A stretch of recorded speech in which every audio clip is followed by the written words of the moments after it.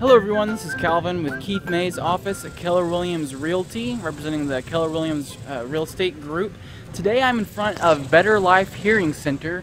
It's here in Edmond. This is on 2nd Street, uh, right by the FedEx office. Uh, that's the landmark they usually tell their customers about when you're trying to find them. I'm inside now, and this is the state-of-the-art sound booth that David and Paul use.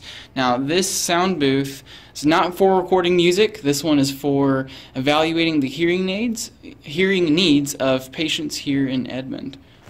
Told that Better Life Hearing Center is a brand new business, but the people behind it are not brand new.